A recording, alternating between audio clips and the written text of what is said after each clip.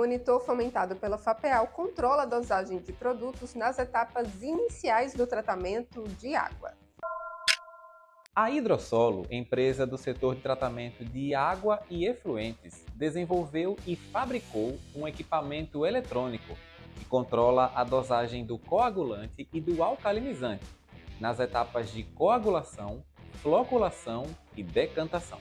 O equipamento é fruto dos editais lançados pela FAPEL com o objetivo de impulsionar investimentos em inovação, visando o crescimento empresarial e a geração de empregos e renda. De acordo com o engenheiro Flávio Alcântara, o produto tem como propósito oferecer aos clientes uma água mais segura e de boa qualidade, com um benefício adicional: a redução de custos com produtos químicos.